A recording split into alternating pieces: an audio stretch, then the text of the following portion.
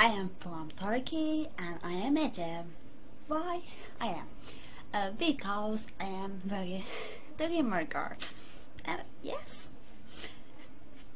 that is why I am. Um, I want to be the queen of the Mars. I want to be uh, the edge of the Mars, like the Eve of the world. I want create any language, any religion. Uh, I want to affect the peace, all the society. I want to marry with aliens. That is the reason. If you choose me, Mars will be a very funny place. Keep calm and take me to the Mars. See you guys in the Mars.